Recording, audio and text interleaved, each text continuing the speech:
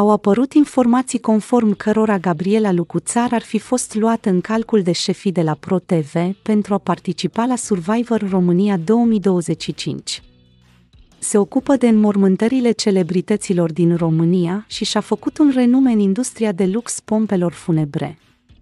Cea supranumită Regina Întunericului face lumină în legătură cu nicnameul primit, dar și cu vâlva care s-a creat după decesul lui Silviu Prigoană.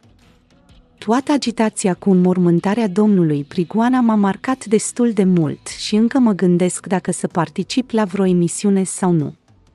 Eu nu spun că nu am acceptat eu sau nu am fost acceptată acolo. Probabil va anunța ProTV-ul. Pe mine nu mă interesează frustrările oamenilor. Atunci, când a fost cu înmormântarea domnului Prigoană, a existat o agitație. Astea sunt opiniile oamenilor. Asta este lumea în care trăim.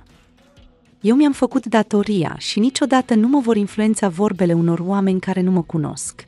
Eu nu aș putea niciodată să critic pe cineva care își face meseria.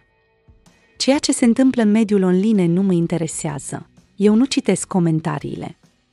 Nu mă afectează cu nimic viața și deciziile. Dacă există hate, totul vine din sufletul oamenilor și arunc asta în mediul online.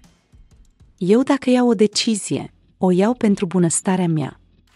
Cine mă cunoaște, știe că sunt un om foarte empatic că sunt o femeie foarte cerebrală, că sunt un om minunat, care sare în ajutorul tuturor.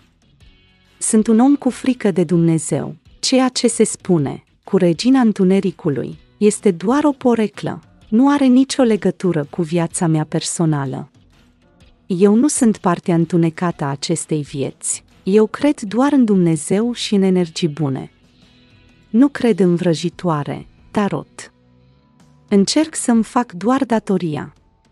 Iar partea cu porecla mea a fost în ideea că atunci când omul moare se face întuneric, iar omul pleacă în lumină. Oamenii interpretează asta în diverse moduri. Atunci când ești o femeie de afaceri, deranjează, este greu de crezut că o singură femeie poate face ce fac eu. Vă mulțumesc că ați privit până la final și vă rog să vă abonați la canal pentru a vedea mai multe știri de acest gen.